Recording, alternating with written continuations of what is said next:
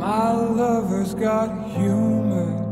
She's the giggle at a funeral. Knows everybody's disapproval. Всем доброе утро. Начинаю по традиции записывать свой влог с понедельника. Сегодня понедельник. Косметологу Ильнаре убирать носогубную складку. В общем, эта складка у нас генетическая по женской линии у всех. Причем она с каждым годом еще больше и больше образовывается. Сейчас ее не так уж слишком видно, но небольшие морщинки уже начинают появляться здесь, и э, глубина складки еще больше и больше образовывается. Я это замечаю с каждым годом, и мне это вообще не нравится. Брови я вам показывала, мне очень нравится, корочка сошла. Есть небольшие нюансы, да, ну, это все поправимо, на коррекции все поправлю.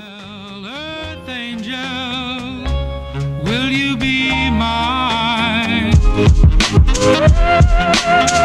Девчонки, я только что вышла от Ильнары, и эффект потрясающий. Я там все снимала, и Обязательно посмотрите это видео, потому что оно получилось очень крутое, и вы увидите обалденный результат, который был до и после. Ильнара ответила на многие ваши вопросы. Очень крутое видео, поэтому дождитесь. Видео с Ильнарой я, скорее всего, выгружу в понедельник, потому что я буду его редактировать. Это долгий процесс. Всем доброе утро. Я в ванной. Вообще я собираюсь на самом... Вы, вы видели мой зад? Я беру камеру с собой, хочу поснимать все для вас. Дело в том, что я еду к стоматологу. Я вам рассказывала, что я хожу к стоматологу, вернее, начинаю ходить. Дело в том, что у меня неправильный прикус, и мне нужно его исправлять. Чтобы исправить мой неправильный прикус, мне нужно либо носить брекеты, либо капы. Конечно, я больше склоняюсь к капам, потому что капы, они прозрачные, их не видно на зубах, но только если присматриваться, в принципе, если я буду с вами общаться в капах, вы даже не заметите, что я буду в капах. Того, что у меня неправильный прикус, у меня даже второй подбородок образовывается. Это и даже вчера Эльнара сказала, что из-за того, что у меня неправильный прикус, у меня идет асимметрия лица со временем, что у меня вот эта часть немного стала опускаться, это получше, здесь там что-то не то, там не то. И, конечно, это все взаимосвязано. А вечером после ортодонта в 6 часов меня пригласили на дегустацию летне-весеннего меню в грузинском ресторане.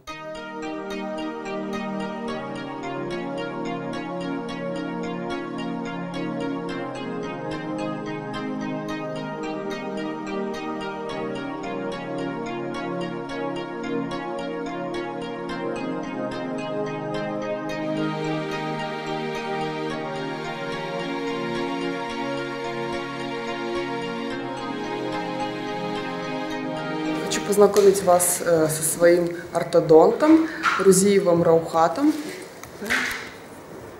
Всем привет.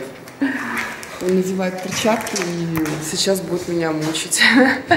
Нет, на самом деле он будет делать мне слепки а, зубов, да? Как это правильно. Да, вот. Угу. Вот. Теперь туда будет заливаться гипс. Угу. В специальной форме он придастся. Потом, когда затвердеет, вот этот слепок мы снимем и получим отпечатки ваших зубов. Вышла я от ортодонта. В общем, я решила ставить капы себе Invisalign. Сегодня мы сделали снимки, и на снимках показалось, что у меня есть э, дырочки в зубах. Нужно сначала зубы вылечить. Когда мы уже полечим мои зубы, тогда можно делать слепки окончательные и заказывать уже из Америки капы инвизилайновские. Вот. Знаете, что самое странное? Мне только что позвонили какие-то парни и сказали, что хотят доставить мне цветы. Я вот сижу и думаю, откуда у них мой номер? И, ну, я, слава богу, нахожусь в таком людном месте. Я договорилась, ну, говорю, ладно, приезжайте, хотите сюда, приезжайте.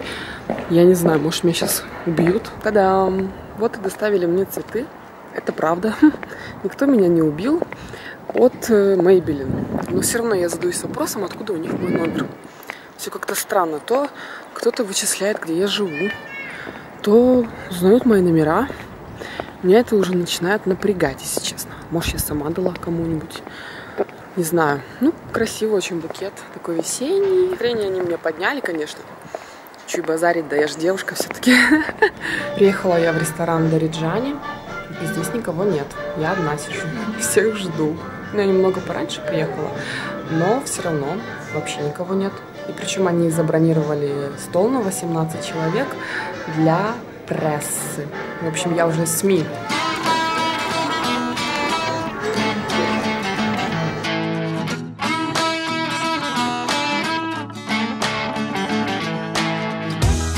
Вот, э, заказала я себе мясо по-мигрельски. Здесь в ореховом соусе и в томатном. Баранина или говядина? По-моему, говядина. Да, говядина. Вот с таким хлебом приносят. Всем домашний привет. Я дома умылась, переоделась, сняла свои каблуки и чувствую себя очень хорошо. Резко мне захотелось спать, потому что мы объелись. Мы просто обожрались даже, знаете. Когда проходят такие дегустации еды, очень-очень много на столах, еще предлагают заказать что-либо из меню. А еще я первый раз в жизни хинкали попробовала. Вот я была от них без ума. Я люблю манты, да, очень сильно наши. Но мне кажется, хинкали вкуснее. Я не доела реально свое горячее, я там не смогла доесть. Я забрала с собой его домой, и у меня муж с радостью его съел. Мы всегда так делаем, мы никогда не оставляем еду, мы всегда забираем ее с собой дома, доедаем потом на следующий день. На самом деле этому научил меня мой муж, потому что э, я раньше была такой не знаю, как назвать себя, свинья, что ли. Я была один раз в Египте, и там же все включено, там, как и в Турции, например. Там ты берешь поднос, тарелки и берешь все, что тебе угодно, да, из еды, завтрак, обед, ужин. И я вела себя по-свински, я набирала прям огромные тарелки всего себе, сидела, ничего, соответственно, я не доедала, я пробовала там, там, там, клювала, оставляла все на столе и уходила. Потом, когда я вышла замуж, меня муж этому отучил. А еще мне предложил очень-очень крутой стилист изменить цвет моих волос опять. И я говорю, ну ладно, что ты мне можешь предложить? Он говорит, вот этот вариант.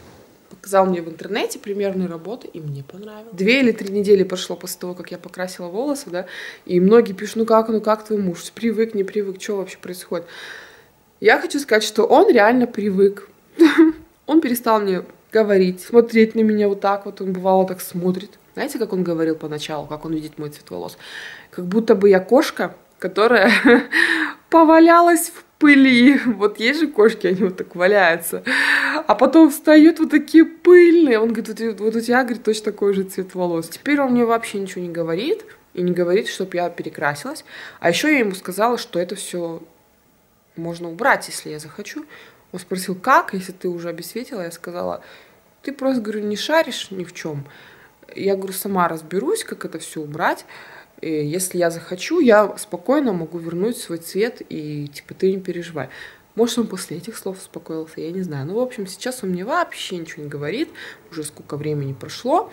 Ну, я даже думаю, может, ему тоже начал нравиться. Хочу выразить благодарность тем девчонкам, мальчишкам, которые всегда со мной, которые поддерживают меня, которые пишут комментарии, потому что мне на самом деле важно получать отдачу от вас.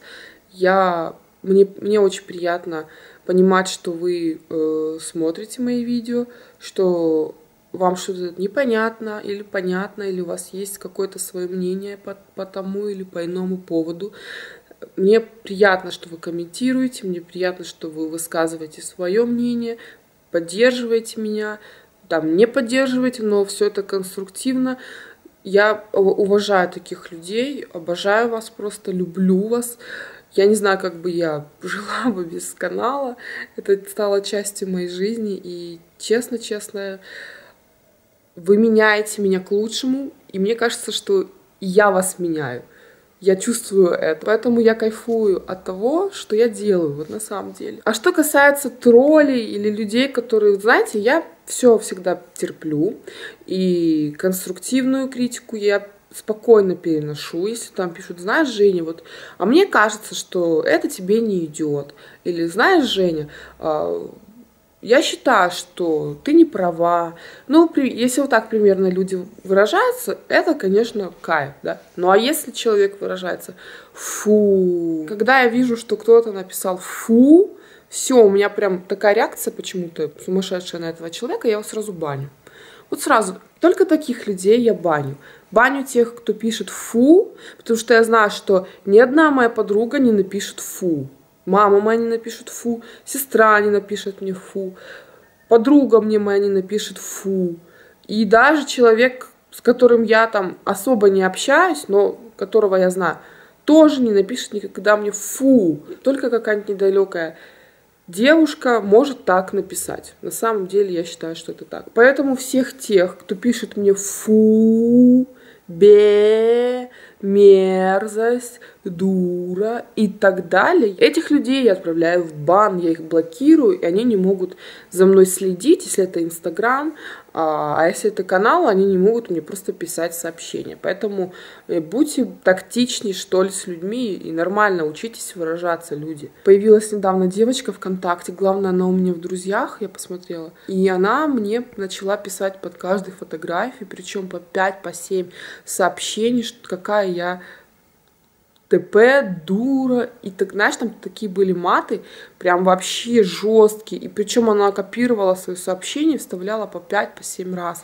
и при этом она не убралась у меня из друзей, да, она осталась, я когда перешла к ней посмотреть, думаю, ну кто это такая, ну, конечно, я понимаю, что она хотела обратить на себя внимание, что это подросток, да, конечно, к таким людям я я не испытываю ненависти, я просто их жалею, мне их жалко на самом деле.